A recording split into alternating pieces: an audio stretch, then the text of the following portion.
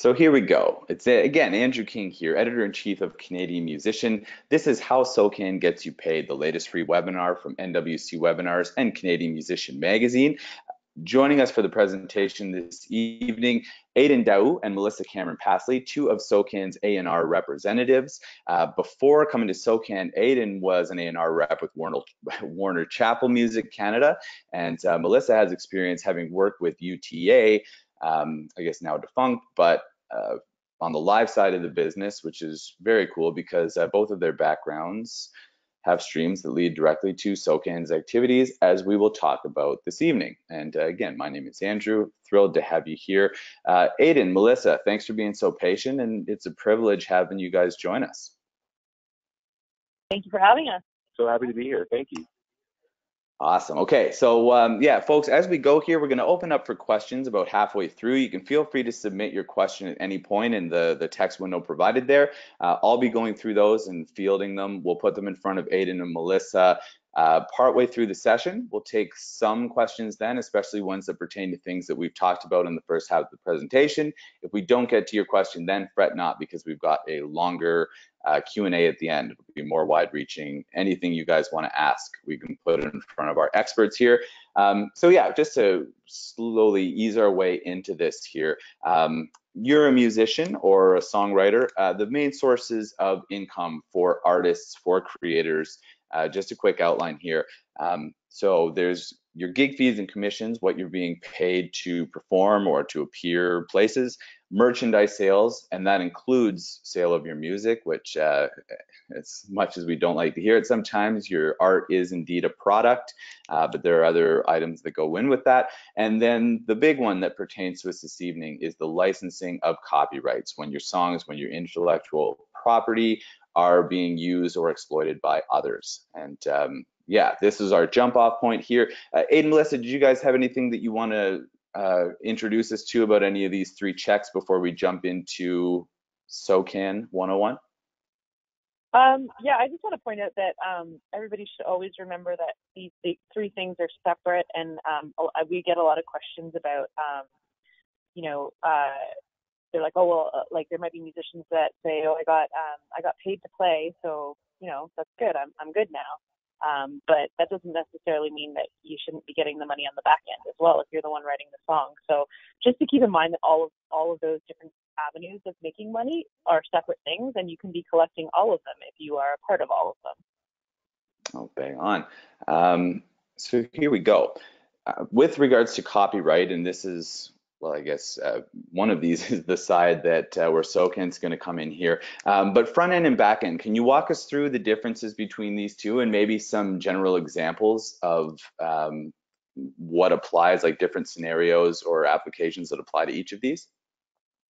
Yeah. So so yes, as you mentioned, SOCAN is the back end, right? So we're the ones that are uh, once your your song is getting placed on, um, let's just say, for example um, you get a, a, song placed in um, a television show, and um, it's a music supervisor that placed it. Um, there's going to be generally an upfront agreement um, where you're signing a deal memo to start with, and then a full length memo um, or full length agreement following that. And there will be two sides of payment up front. So that will be a sync fee and a master use fee. So that is something separate SOCAN has nothing to do with that money that's getting paid out. Um, where we kick in is when um, when the performance royalties start coming in through the airing of the show. So once it starts hitting um, cable television, for example, um, uh, from the air date nine months later is when you're going to be seeing those royalties coming in through SOCAN. Right on. Um, so yeah, we're going to do a quick uh, breakdown of SOCAN as an organization. Then we're going to get more specifically into the different uh, ways that SOCAN collects royalties, uh, the various, well, everything under that umbrella. Um, we said we were going to help you maximize your revenue and get every cent you're entitled to through uh, these fine folks, and uh, that's coming up very shortly. But just to give us an overview of the organization, um, yeah, Aidan, did you want to walk us through some of these points here and just provide a bit of background? Yeah, 100%. Uh, so, like you're saying, can, uh, SOCAN is Canada's performing rights organization. We're Canada's only performing rights organization as well. and we have about 150,000 members from across all genres and all types of music. Uh, it's everyone from uh, emerging green songwriters that haven't really published a whole lot of music and, and, and releasing music to the, the big players like Drake and The Weeknd and uh, all of those guys. Um, we were a PRO. Um, we also uh, have a bunch of members that are our publisher members rather as well. Uh, are we? The, I believe we're the only or one of the only few PROs that have uh, publishers as their members as well. Correct? Yeah, I believe so. Um, uh, yeah, so so we work in, in tandem as well with them as well. We, we they have obviously different needs than than uh, unsigned and unpublished members, but uh, we work with them quite a bit, and we're not we're not for profit as well. So uh, the the music that's being recorded is owned and operated by the members themselves. Mm-hmm. Now, as far as uh, like being the only Canada's only PRO, as you say. Uh, one question that I know is going to come up later, so maybe we can jump, uh, nip it in the bud here. But what's the difference between SOCAN and Resound is the one that comes up most frequently. But then if you can expand a bit, like some of the other ones that people might be familiar with, for example, say uh, MROC or um, yeah, we have a bunch of friends on that side, but uh, let us know what's unique about SOCAN. So um, all the the companies that you're um, you're mentioning, everybody handles a different um, a different royalty stream. So mm-hmm. Um, for SOCAN, we're handling performing rights. Um, also, know, we're PRO. Uh, you'll often hear that term, um, which stands for Performing Rights Organization. So we're collecting uh, your royalties that are being performed, which can be kind of a uh, confusing term sometimes because um, it doesn't necessarily mean that uh, you're performing it live always, right? A performance can also be a um, radio play or um, an AV, audio visual, um, where music is to screen, to picture. Um, so that was kind of the performance. Any kind of uh, royalty that we're collecting, or sorry, any kind of performance that we're collecting, uh, we refer to it as a performance. So I just wanted to put that out there so there's no confusion. Um, so, anyway, so the difference um, there's um, something called neighboring rights, um, which is also a stream of royalties that you can um, collect. So you can sign up for MROC for that, or you can sign up through ActRac. They both do the same thing. Um, and Resound is um, the company that licenses venues um, and, and uh, sorry, not venues, licenses their their tariffs and get that money in to be paid out by MROC or uh, ActRac. So neighboring rights um, isn't handling the royalties for the songwriters or the publishers. They're handling royalties for the performers on the song. Again, there's another term, performers in a different uh, in a different definition. So I know that's confusing, but performers, as in like you could be a session player, you could be a hand clapper on a record, you could uh, be playing anything. When you're, you could be uh, a producer that is like playing programmed tracks, right? So you're actually mm-hmm. performing on the record. Um, you could be the singer of your own record and you can be getting neighboring rights and you can be getting SOCAN royalties as well if you're writing the song. So um, all in all, and there's more. There's more streams of royalties that you know we won't get into. Um, it's not something that we handle, but um, just definitely sign up for all of these different um, collectives because all of this money adds up, um, and you can be or you should be collecting from all these different streams. Mm-hmm.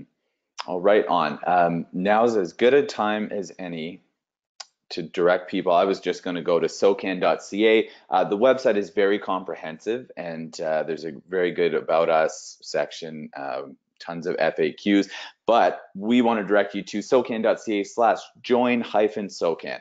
Uh, this is really step one. Uh, it's totally free. Aidan or Melissa, give us an idea though, uh, how long does it take to actually become a member of SOCAN?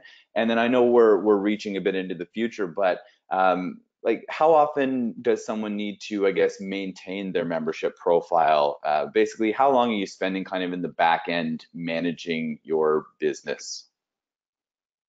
Yeah, sure. So, so registration with SOCAN is incredibly easy. Like you're saying, it's free. Uh, it just takes a few minutes for the first step of things.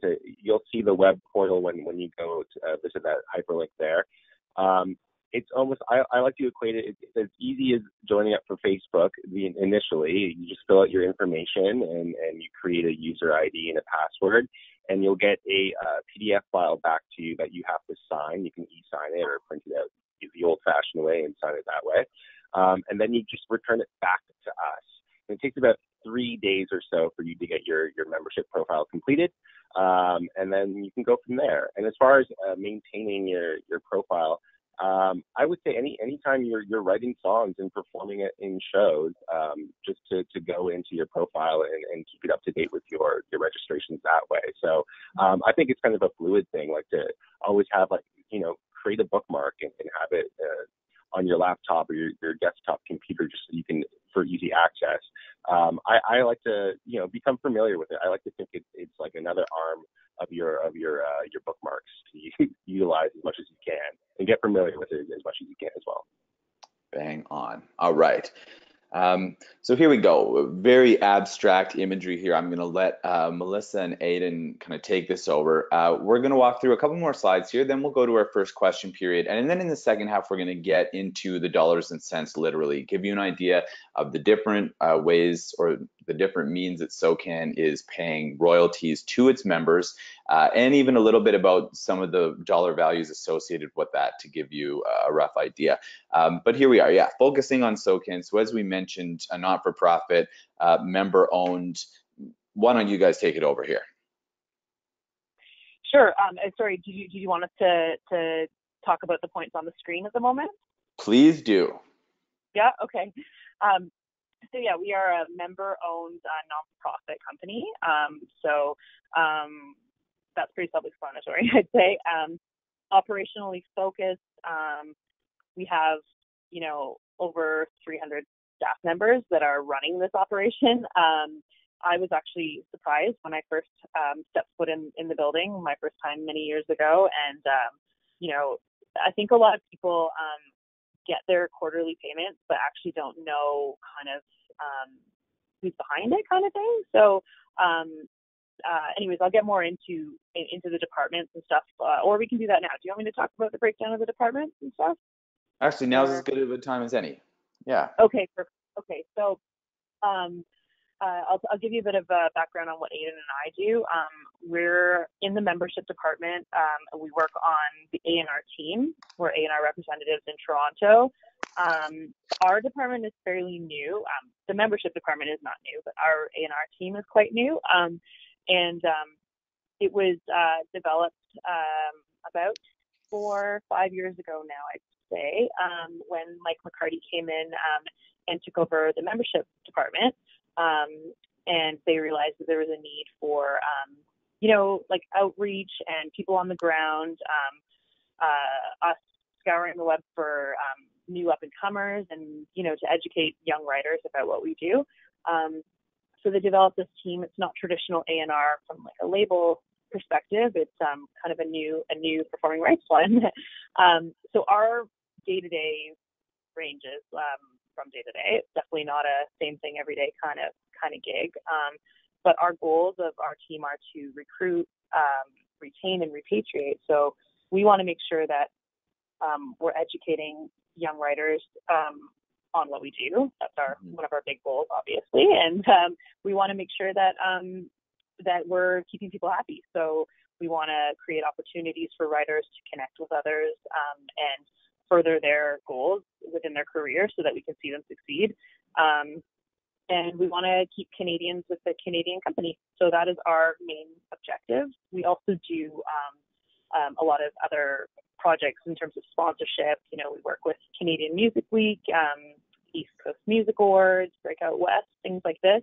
Mm-hmm. Um, we facilitate song camps and other um, uh, and other outreach programs to build people's connections and whatnot, um, and and lots of other things. So.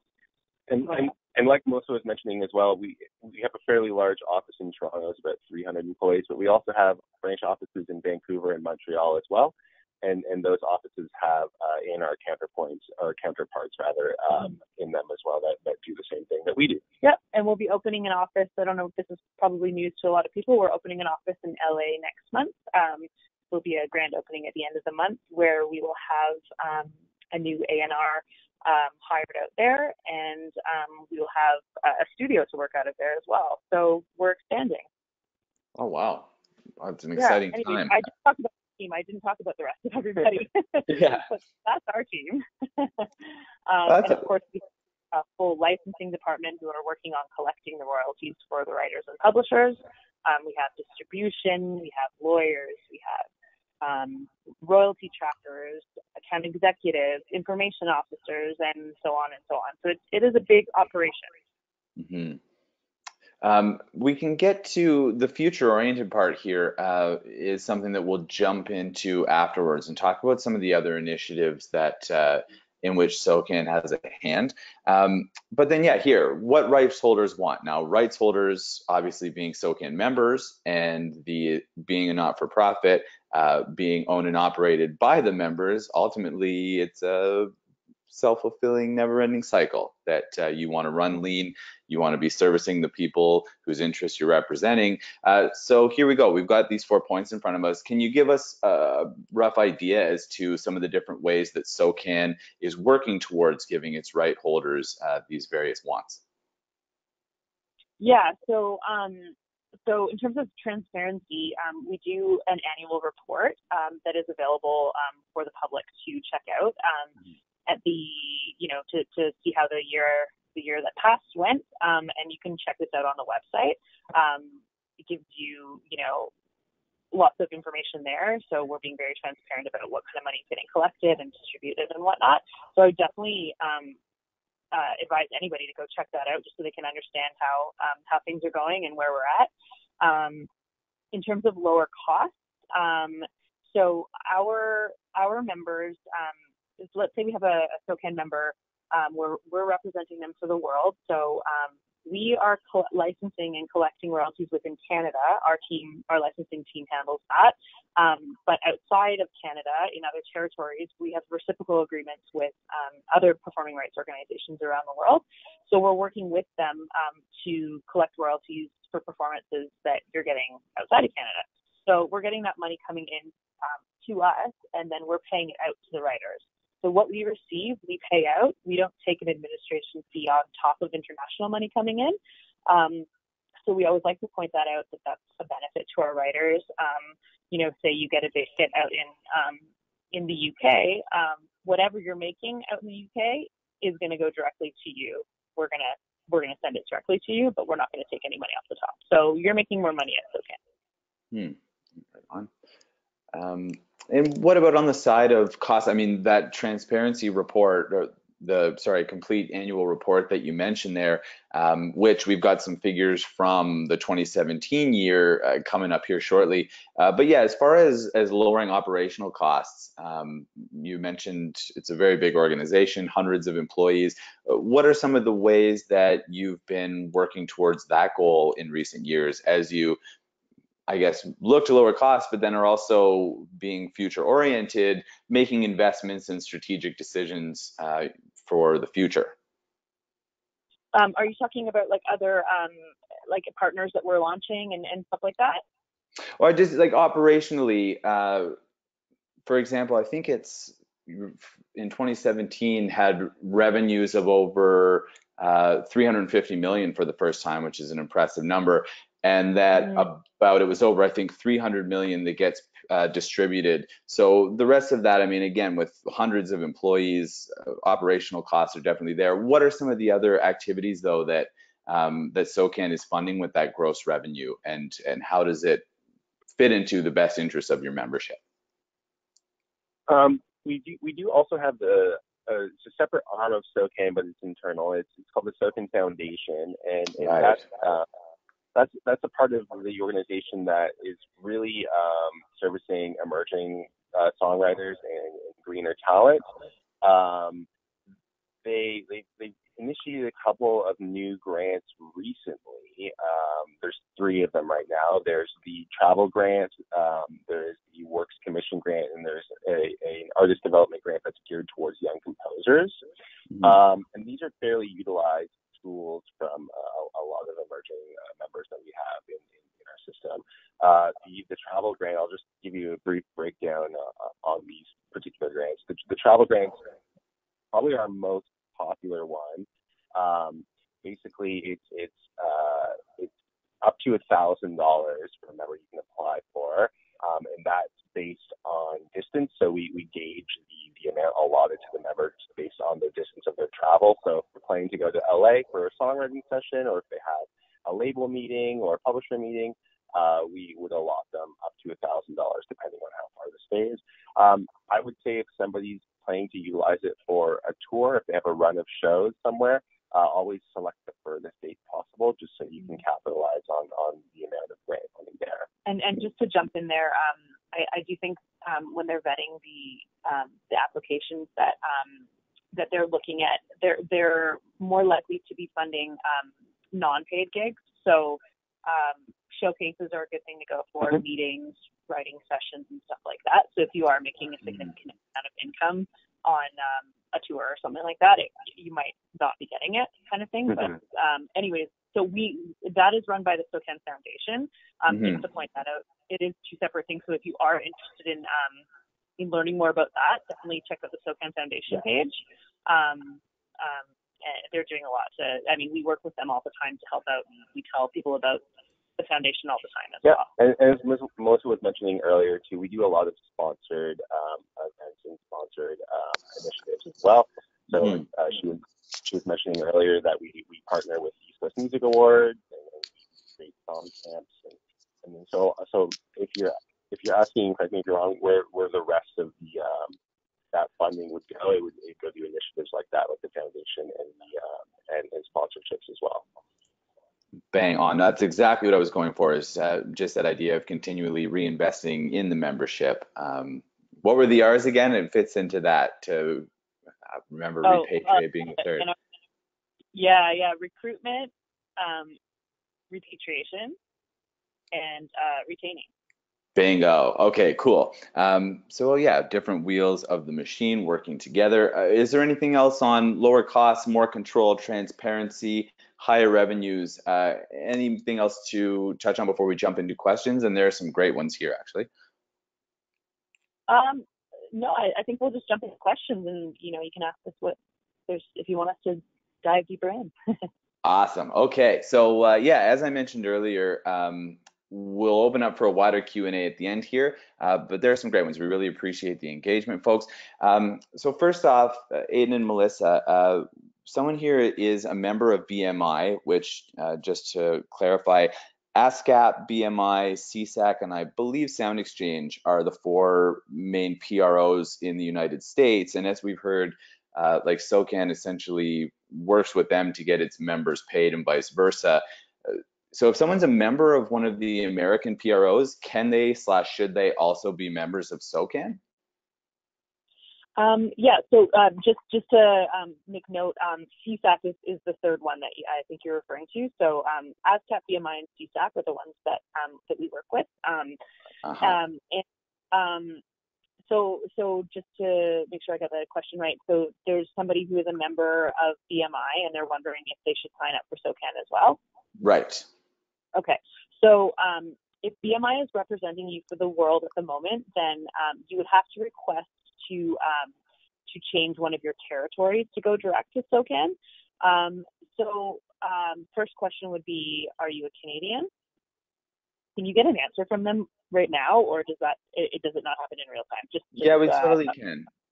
Uh, yeah, yeah okay. a, a Canadian down in the states. Yeah.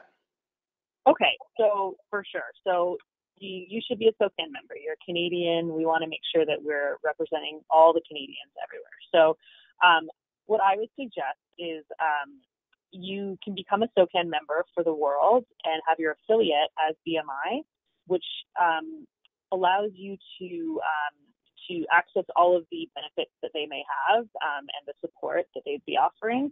Um, however, we'd be administering you know, your royalties and you'd be registering all of your songs and submitting all of your concerts, which we'll get into in a bit, um, uh, through us. Um, and we'd be, the BMI would be licensing your work in the States um, and sending it to us to administer and send to you.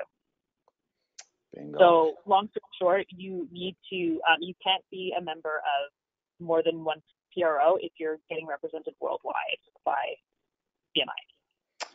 Awesome. Um, so yeah, I had mentioned BMI, ASCAP, SESAC, and Sound Exchange in the same breath. Uh, just to clarify though, um, the first three, SESAC, ASCAP, and BMI, are PROs, basically like SOCAN's American counterpart. Sound Exchange is a digital uh, PRO and operates a little bit differently. We won't jump into that, but um, I misspoke and grouped them together. That was my mistake. And if you're interested in what Sound Exchange does, uh, you can check out soundexchange.com.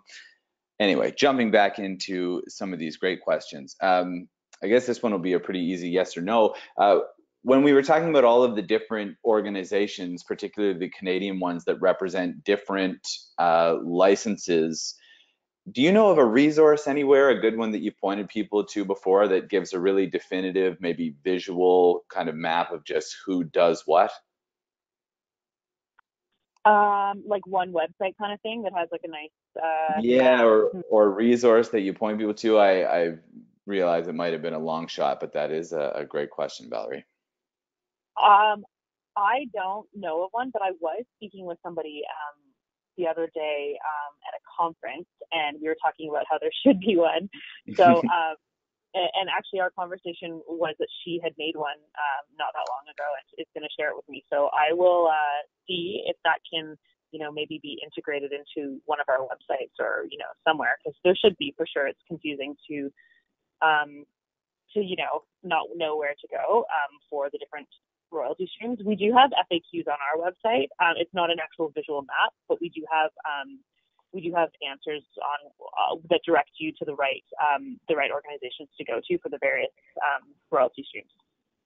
So All right on.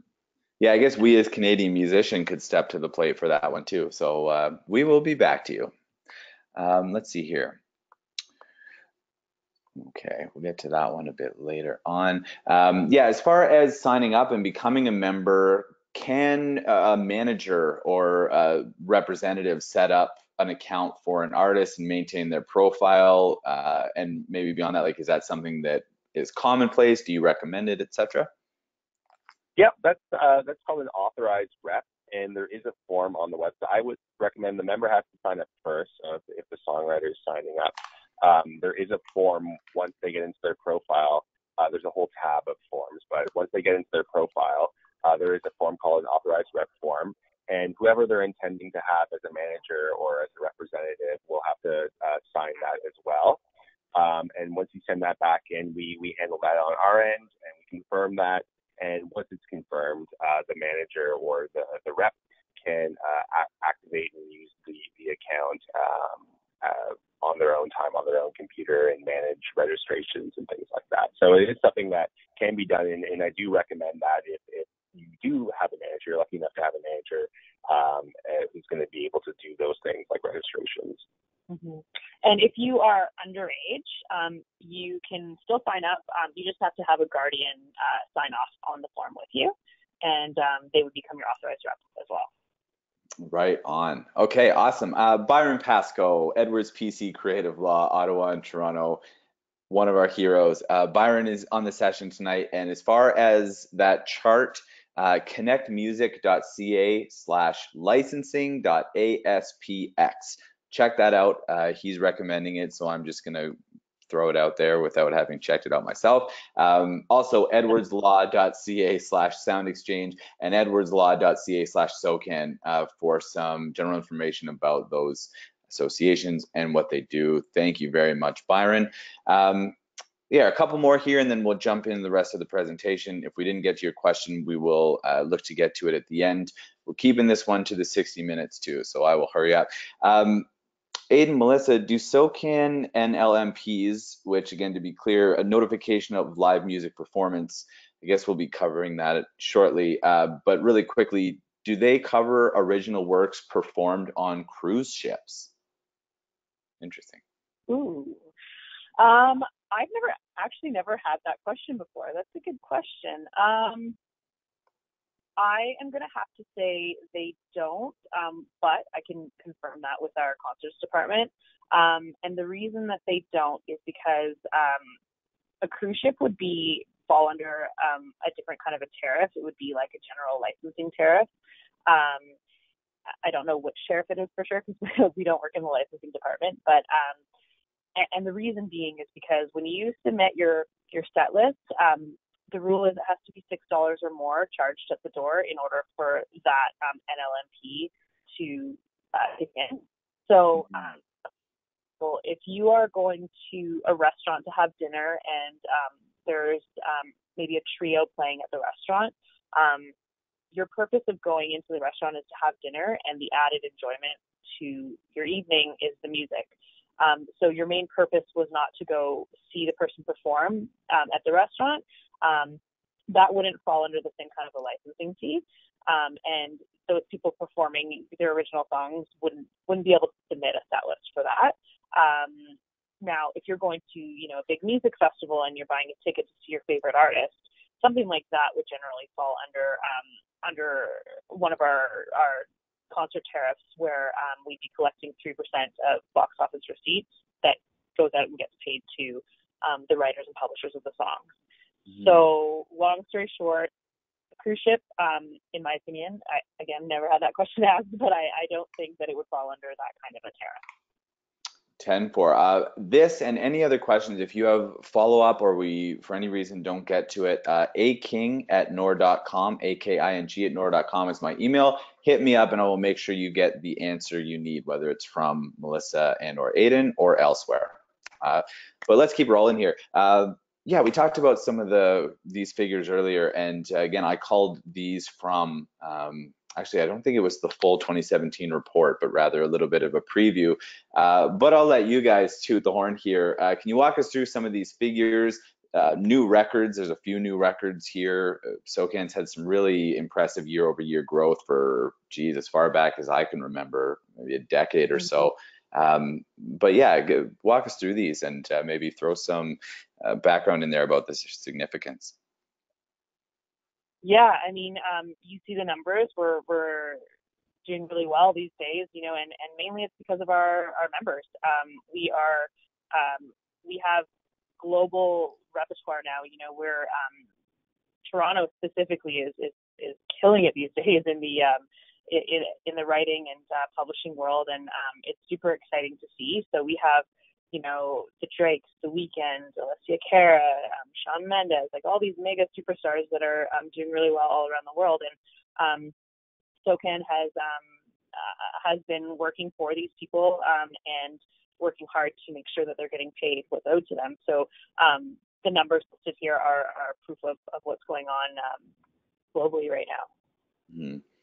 This is great. Um, yeah, royalties from non-Canadian sources of more than 75 million. This is actually me asking, uh, but as the number one revenue stream for SOCAN members, what exactly does that mean? The royalties from non-Canadian sources. Um, well, and, and being the number one revenue stream. Sorry, say that one more time. And, and then being oh. the number one revenue stream. Right. So that's referring to our international money coming in, right? So um, so non-domestic performances. So coming in from around the world, like uh, okay. maybe States or the UK, you know, money, money royalties that are coming in for our writers and publishers outside of Canada. Okay, bang on. Um, here, let's keep rolling then. Okay, I love this. Uh, I stole this graphic straight up from uh, SOCAN, but it's so relevant to what we're talking about here. Uh, this is something that we've chatted about recently, and I think it called it the Drake effect, or maybe it was the Drake ecosystem. But essentially, how I mean, you just mentioned some of the major stars that Canada's produced over the last few years. Um, but yeah, I really don't like the term trickle down effect or trickle down economics uh, because it's been so exploited or abused, but it applies perfectly to this. Uh, can you guys tell us what the Drake effect is and who some of these other fine artists and producers like The Weeknd to some of the behind the scenes guys like 40 and Boi-1da and Francis Scott Heath, who just did the SOCAN Cook and Beat session at CMW. Uh, how do these all come into play with one another? Yeah, of course. Uh, so as you can see, uh, when there's uh, one global superstar as a member, uh, there tends to be a lot of other successful members that follow suit. Um, particularly in, in Drake's uh, case, Uh, a lot of these people that you see here are producers or co-writers of his as well. So when he wins and he's winning to you know gargantuan effect, uh, all of these co-writers and producers win along with him. So a lot of this revenue that's coming in are through people like Drake and The Weeknd and people that have these collectives and these networks that they employ. And thankfully, they're all Canadian and SOCAN members. Um, you start to see quite a, a, a boost in, in global revenue, and that's you know part you know it's not Drake alone, but there are uh, plenty of homegrown talent uh, like the Weeknds and Drake, Alessia Caras, who are who are kind of driving this this boom that we're seeing now, mm-hmm. and uh, and that's why we we've had another record year. Uh, but yeah, you can see some of these names here. Uh, Boi-1da and 40 are pretty close collaborators with Drake. Uh, Carlo um, is is a producer for the Weeknd as well. Uh, there's a ton of ex- I'm I'm seeing these here for not the first time, but I'm I'm really seeing a couple names here that I I glanced over initially that I'm I'm kind of uh, disappointed in myself in because there's some great names here. Obviously, Majid Jordan is a, is another songwriter and producer that works under Drake, but now has a, a solo well, a, a solo career as part of a group on his own as well. I see Matthew Burnett's name here, who is uh, um, a writer, producer, uh, and manager for um, Daniel Caesar, along with Jordan Evans. Um, it's incredible like what what Canada's doing these days. And um I think the whole the Drake effect is obviously he he was the one to put Canada on the map really like and and he's such a support for Toronto. And um he's basically made it uh made a path for young budding artists and writers. And um they they ever you know there people believe they can do it now and they can. So it's amazing. Yeah i would like i would like you were saying that you don't like to use the term trickle effect. I would real, I would more more so feel comfortable calling it a ripple effect. You know, he, he used the one big boulder that created splash, and now there's all these amazing artists and songwriters that are that are doing their own thing as well because of it. Sold. I like that. All right. Um, yeah, Daniel Caesar. I totally, I was think, wondering where uh, Matt Burnett's name was from. Thank you very much, Melissa. Um, so here we go. Uh, SOCAN's main performance types. Now there's two slides here. Radio is a big one with a few uh, sub entities under it. Um, so in a moment, we'll get to live concerts, TV, film, digital, etc. This will answer a number of the other questions that are in the queue from uh, our last question period. Um, but here we go. So underneath radio, uh, DAI, survey, CBC, I am unfamiliar with uh, what these terms mean and would love a bit of, yeah, help. Can you walk us through these and um, tell us, especially like how these dollar values and why they're assigned to these different uh, checks? For sure. Uh, so there, there are three forms of, of radio royalties. Uh, DAI is also known as census radio. Uh, we have survey and we have CBC radio. So survey is kind of like the, the big commercial stations that, that you, you hear. Sorry, rather, uh, DAI census is, is, is the, uh, the, the bigger commercial radio stations that you hear. So like the, the 102.1 The Edges, the 92.5 KISS for, for Toronto um, uh, attendees today. Uh, survey is uh, more for um, like uh, college radio, uh, more remote radio stations as well. And CBC is obviously CBC is pretty self-explanatory, but we're talking about in, for the for this number in particular, the, the twenty-five dollars for for every spin is is for the the um, the federally and nationally uh, broadcasted shows. Um, so the reason why the, the figures are, are you know, a little bit different is because CBC would have to factor in that there are so many ears listening to these shows. So there's there's listeners that tune into CBC Radio too. They're listening to a show. They're listening to a song. We have to factor in that, that potentially there are you know thousands upon thousands of listeners across the country that are listening to this this particular broadcast. And obviously that contrasts from from survey uh, from a college radio station in you know Waterloo isn't necessarily getting the same amount of uh, ears, the same audience as a, a big show like CBC Radio 2 uh, type of broadcast. And then DAI uh, a little bit different. Um, the, com- the commercial radio stations obviously uh, are more local and centralized in, in you know a, cer- a certain area of, of the provinces. Uh, so we, we factor in those a little bit as well. Mm-hmm. Um, just to add a little bit to that, um, uh, these numbers that you're seeing are approximate numbers. Um, and, and the reason for that being is it, it will fluctuate quarter to quarter depending on what kind of ad revenue is coming in um, from the station. Mm-hmm. So just wanted to point that out. Gotcha, yeah, and the big okay. thing to note is the big thing to note as well is that census is, is being logged consistently. Um, so if, if you have a song that plays on on a commercial radio station, chances are we'll have picked up on that. Survey a little bit different. Uh, it's audited uh, quarterly, um, so uh, your your uh, your ha- your song has to play within a certain window for us to pick it up. Mm-hmm. Um, and then CBC is very similar; it's always logged as well. Mm-hmm. One thing to add um, for people putting servicing their tracks to radio, um, I would recommend uh, sending it into Nielsen BDS um, uh, SoundScan to get. Um, basically, it's like a fingerprinting technology. It's free to do. Just type it in Google how to do that, um, and uh, they'll send you uh, a file that has this encoded fingerprint in it, and um, it, it's just a good idea to do in terms of tracking um, when you're getting plays. Right on. Okay. Um, let's see. We got 15 more minutes here. I don't want to speed through because this is some important stuff, but we do have a few questions to get to. Um, so past radio concert, we've talked a bit about live performance. Um, yeah, can I leave this one to you guys? Whip us through these uh, other four performance types. Sure. Um, uh, concerts, I always really like to talk about concerts because um, it, it's important, especially for um, you know the, the beginner songwriter um, uh, or artist. You generally your first source of income is going to be from concerts um, because it is hard to get played on the radio and and as we all know it's hard to get placed into film and television when you're starting out so um, concerts uh, is something you don't want to miss out on we always want to tell people um, what they need to do in order to get that money so um, it's our job to license um, the promoter um, uh, or the venue if they are the promoter um, and collect the royalties for writers. But it's your responsibility to submit your set list so we know what songs are being played.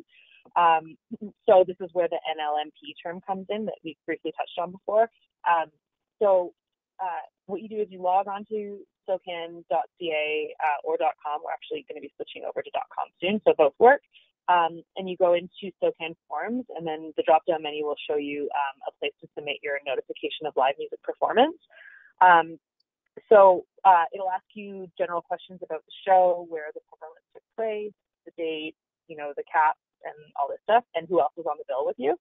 Um, and then it's going to ask you to submit a proof, your proof of performance. So that could be if you have a booking agent, an agency contract, or it could be um, a screenshot from a Facebook ad, um, you know, something like that to prove that it happened.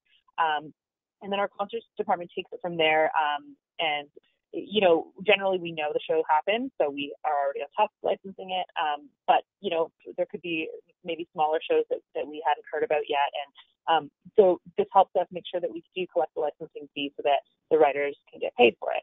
Um, so yes, I just wanted to point out that you do have to submit your set list in order to get these um, royalties unlocked for you.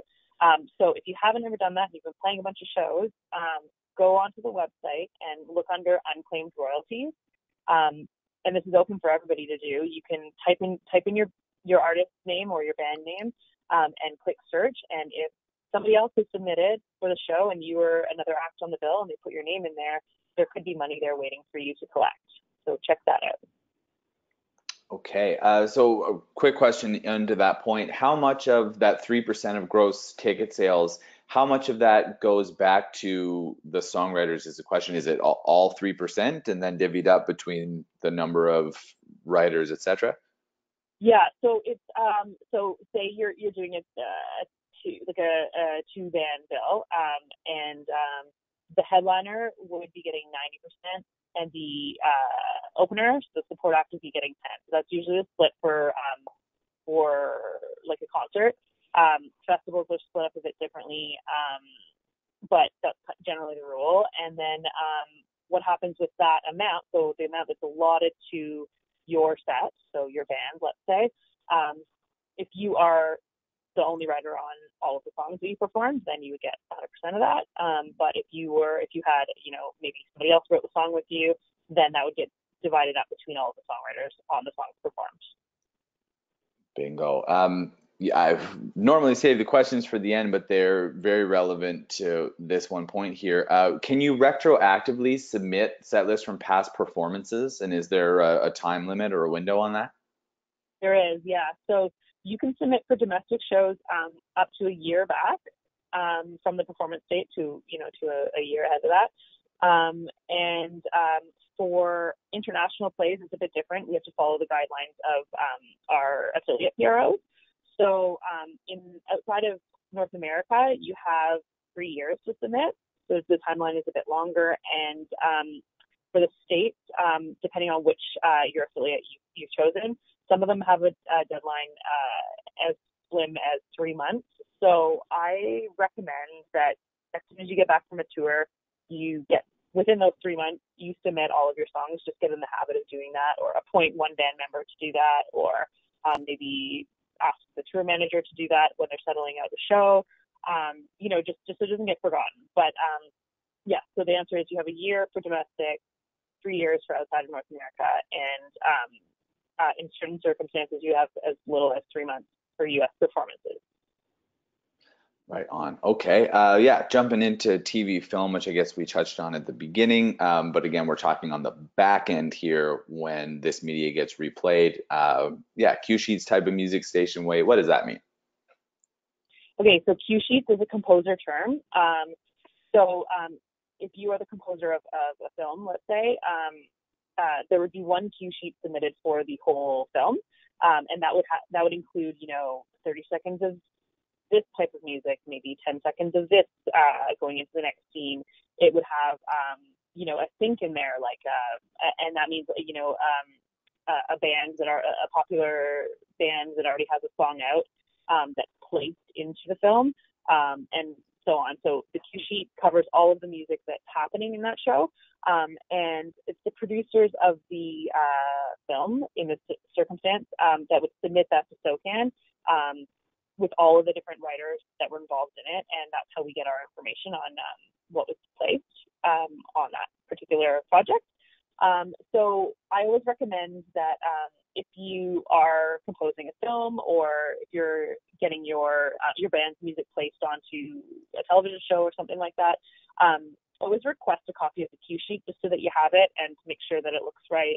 You know, sometimes things get missed um, or maybe the wrong writer uh, gets selected and then you know you're not seeing those royalties come in. So um, just have a copy of the cue sheet on hand, and if there's anything, if there's a performance that happens on television, let's say, and you look at your statement nine months later, your SOCAN statement, and you're like, oh, I, I don't see anything coming in from that. Give us a call, um, and we'll submit a query. And it's always good to have that cue sheet as a backup.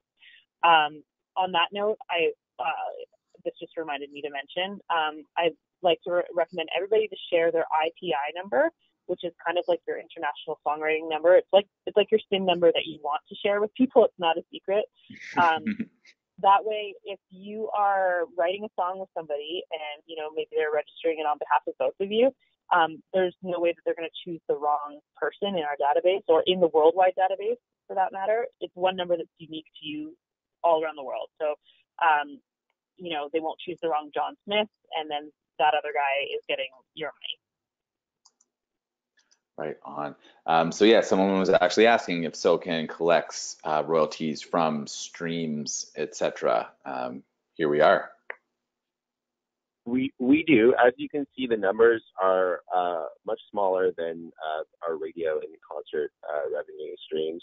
Um, as you can see, the the Spotify and, and YouTube uh, payouts are, are, are quite minuscule. I think that's something that the whole industry is trying to change um, right now, but uh, by no means is internet your. It should not be your main source of income as, as a songwriter, in my opinion. It's just it's another arm, like you're saying, like with copyright in general, just another way to, to collect your money that's that's owed, but it's by no means the the most weighted um, uh, source of revenue. Mm-hmm. Right. And in that bundle in your handouts there, there is a feature that breaks down exactly how uh, streaming works, where that money comes from, where it's going. It's about a year old now, so some things may have changed. But what hasn't is that uh, the industry, by and large, uh, knows that, yeah, they're not being compensated properly. And it's something that SOCAN and a number of powerful organizations in the country are lobbying for. Um, really quickly here too. Uh, to an earlier question, Don says the Copyright Board of Canada lists copyright collective societies on its website. One category is music. You can check this out at www.cb-cda.gc.ca. Thank you very much, Don. Um, yeah, let's keep rolling here. Uh, so we talked about a few of these initiatives uh, as far as what the membership and more specifically uh, the A&R division is doing in terms of well craft development. You mentioned some of the song camps and master classes, presentations at other events. Um, I guess if we want to give a quick sampling of of what these are, actually no, we'll just leave them on the screen. Is it cool? Unless you guys want to jump in and uh, and add anything about what's in front of us here, I'm ready to start throwing more questions at you there are a couple more things to add to this. Um, one thing I want to let you guys know about, uh, well, everything's listed under our member benefits page, so definitely take a look there. Um, in terms of song camps, um, we're running this program called Song Camp Mondays at the Toronto office, and it just started in the Vancouver office, um, and will be starting in the Montreal and LA office once once that one opens up. Um, and Song Camp Mondays can be applied for under our member benefits. It's just a uh, fillable form asking general questions about, you know, your strengths and weaknesses and whatnot. Um, and what we do is we curate um, a day of writing between a producer and two top line writers to get in the room and, um, you know, really just work on your craft and meet new people. So I would encourage people to sign up for that. It's been an amazing program, an amazing way to connect with other people if you're looking to expand on that. Um, another thing that I don't think is listed in here is um, we have houses um, that are available for members to um, to book. Uh, we have one in LA, one in Nashville, and one in Paris, um, and they are available for people who are going there for meetings, like writing trips uh, and whatnot. You can apply for those online. Take a look at the calendar and see what's booked already. Uh, it is a it is a very sought after benefit for sure. So what we do is we we um, take in the submissions and um, and the applications and see you know kind of what people have going on while they're out there. We want to make sure people aren't just going for vacation; that they have um, business plans to be there, kind of thing. So yeah, I just wanted to add that in on top of the other things you have listed. I'm really glad you did. Um, yeah, that's great. SOCAN House Nashville. Uh, can only imagine how much fun that is. Although you're getting work done, as Melissa said. Um, all right, so uh, because we got to cut this off shortly, yeah, we've got about five minutes. Um, there are a few questions left in the queue here. If you've got any that you want to submit, uh, again, aking, A-K-I-N-G at nor.com, send them to me and I'll make sure that they get where they need to be.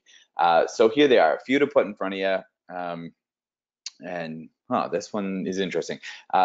Hassan is from Pakistan and has been a member of SOCAN since 2014. Is he missing out on any opportunity by not being a Canadian and being an international member and songwriter? No, not at all. Um, anybody can sign up for SOCAN, um, so that's that's no problem at all. Um, is he living in Canada or outside of Canada right now? Uh, living in Pakistan. Okay, so as long as you have a U.S. or Canadian bank account at the moment, um, we can we can be distributing your royalties um, in either form. So you can get paid out in U.S. dollars or Canadian dollars. Um, and if you don't have either of those, we can still cut a check the manual, old-fashioned way. So no, you're not missing out on anything. Right on. Maybe I'm not sure if this is outside your department, but can you let us know anything about SOCAN's venture with Clearbox Rights to collect digital royalties worldwide? How far along is that?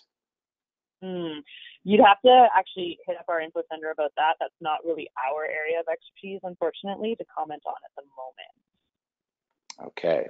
Um, there you go. So you can hit me with that and we'll see if we can uh, find anything out for you from some of the other departments.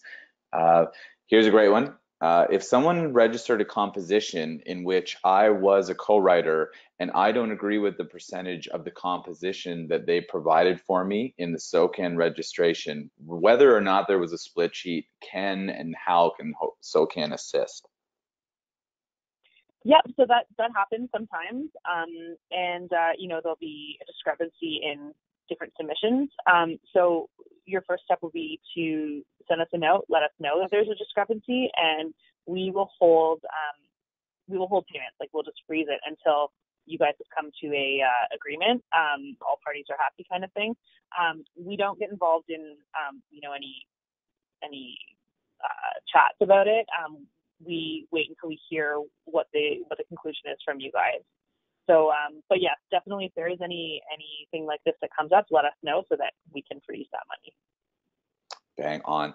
Um, and last one here. Uh, yeah, sorry, I, I, tried to answer Megan's question. It was she's got a song uh, in a video game. How can she make sure that she's collecting royalties? I told her if she's a SOCAN member and has registered that song, that they'll be coming to her. But she's asking, does the video game company need to register? It's a relatively new uh, the company. Does, does the video game need to register songs? Like, does the video game company need to register itself with SOCAN in order for music that appears in those games to get to your members? So it depends on what, where the video game is being like, uh, what platform it's on, kind of thing. So it might fall under different categories in terms of like, you know, maybe it's like an online video game kind of thing, um, where where it might fall under internet streaming. Um, so you know what I the best thing that I would do is uh, I would send in more detail about the specific video game and and and the ins and outs and you know what platform it's on to get a better idea of what kind of a license it would fall under. So definitely send in um, a note to members at socan.ca um, and they'll find the answer for that for you. Right on. There you go, Megan, members at socan.ca. Uh, Thank you very much, Aidan and Melissa. We'll formally thank them in a minute. Uh, musicbooksplus.com slash webinars. Uh, remember, there's some tips there to make the most of, I guess, your next webinar experience, and you can take advantage of that uh, 10% uh, off. And yeah, for the folks that have asked, a recording of the session will be sent out to you 24 hours from now. Uh, you'll be able to share, revisit that as much as you'd like.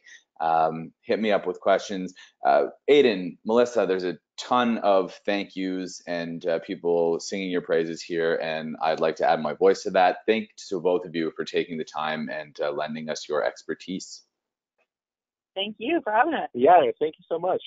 Oh, this was a pleasure. Uh, yeah, so everybody, uh, we appreciate you joining us, and uh, we are signing off here, nwcwebinars.com, to get in on next month's session where we've got producer Kevin Dietz. He's worked with Randy Bachman, Tom Cochrane, Alexis on Fire, Protest the Hero. Uh, he's coming to tell us how to make the most of your studio session, whether you're at a major room like Metalworks or the warehouse or recording in your friend's bedroom. Uh, we want to make sure that you're giving the best recordings, totally comfortable, totally confident, nwcwebinars.com. Again, I'm Andrew King, editor in chief of Canadian Musician, and uh, we're done here. Thanks, everybody. Thank you.